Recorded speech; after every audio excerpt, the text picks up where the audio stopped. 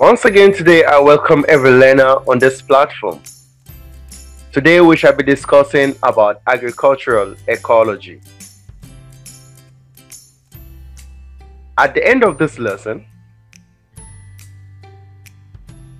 the learners should be able to define agricultural ecology and ecosystem, state the components of farm ecosystem, Discuss how farm crops or animals interact with other organisms and non-living things under different settings. What is ecosystem? An ecological system is composed of both the living and non-living parts of the environment. It also refers to a community of plants and animals functioning together with their non-living environment. Definition of agricultural ecology. Agricultural ecology is a field of study which deals with the relationship of living organisms with one another and with the environment in which they live.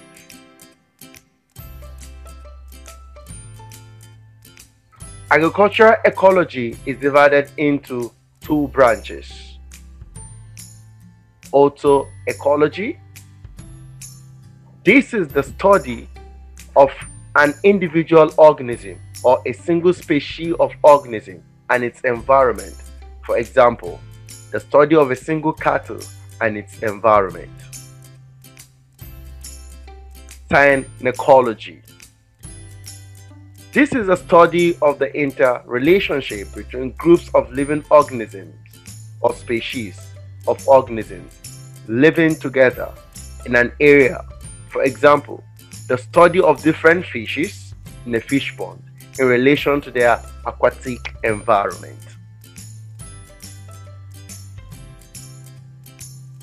Components of ecosystem. Basically, the components of ecosystem are divided into two. The biotic component and the abiotic component. Let's just see. The farm ecosystem is made of two main components. These are the biotic components or living components. These include the living things, plants and animals, which can be grouped into producers, consumers, and decomposers the abiotic component, the non-living component. These include climatic factors, inorganic materials and nutrients, edaphic factors, and other factors. Biotic components include living things, crops, and animals. The biotic components can be grouped into three classes. These are These are heterotrophism, autotrophism, and decomposers.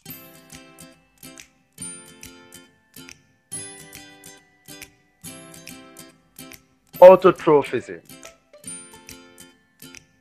This is a group of organisms which can be which can use sunlight or chemicals to manufacture their food from inorganic substances during the process of photosynthesis or chemosynthesis.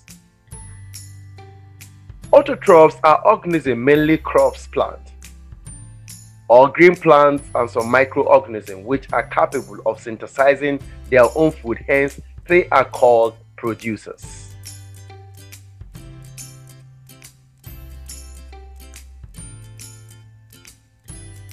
Heterotrophism This group of organisms are mainly farm animals which cannot manufacture their own food but depend directly or indirectly on plants for their food. Hence, they are called consumers. Farm animals that feed directly on green plants, that is the producers, are called herbivores or primary consumers. Example of such we have the cattle, sheep, goats and rabbits. While animals that feed on primary consumers are called carnivores or secondary consumers. Animals that feed on secondary consumers are called the tertiary consumers.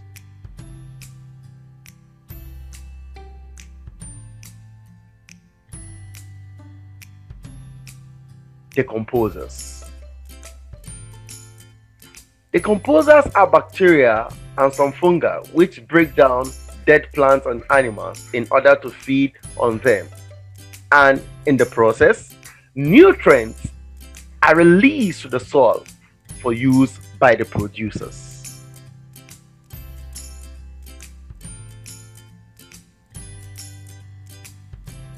Abiotic components. We have climatic factors like temperature, wind, humidity, sunlight, and rainfall. Edaphic factors like soil pH, soil texture, soil type, soil structure, topography, rocks, and many more. Inorganic materials and nutrients such as carbon oxide, nitrogen, calcium, phosphorus, and many more. Other factors like dust, storm, fire, and water are also considered as abiotic components of the ecosystem.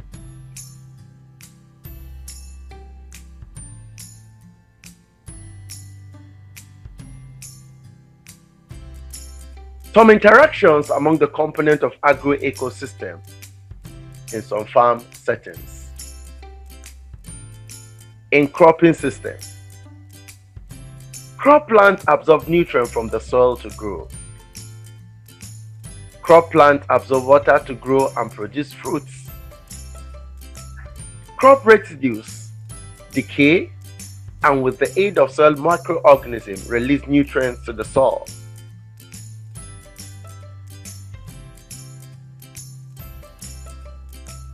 Some organisms in the soil like earthworms, rodents, also aid water percolation.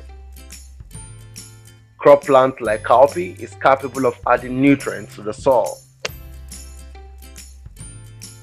The leaves of all crops which fall on the ground decay and add nutrients to the soil through decomposition by soil organisms. Oxygen is also released to the atmosphere by crop plants through photosynthesis. A mixed farming system. The grasses or remains of crops serve as feed to animals. The animal dungs and droppings are used as organic manure to improve the soil fertility for the crops. Both animals and crops release releases carbon dioxide to the atmosphere during respiration and this will help in what in photosynthesis in fish ponds fishes feed on planktons. In the water as their source of food. The death of fishes serve as manure for the microscopic plants that is the planktons in water. Both planktons and fishes releases carbon dioxide to the aquatic habitat which aid photosynthesis of the planktons. Planktons in the water make use of carbon dioxide and water to make their food and releases oxygen to the environment which aids respiration in water.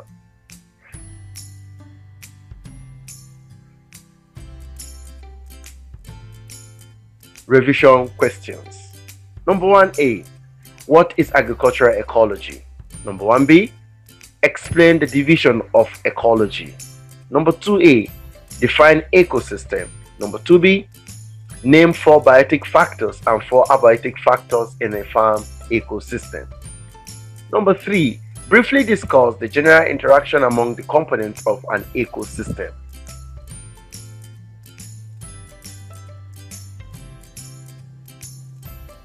If you find it difficult to go through these revision questions, go over the video again. And I have this confidence that you get it right. Thank you for being on this platform.